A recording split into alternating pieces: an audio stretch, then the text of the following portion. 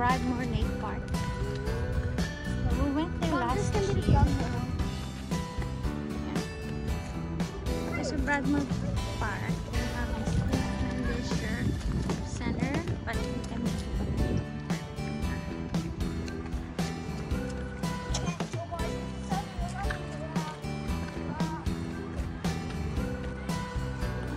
Broadmoor Lake Park kasi malapit sa lake.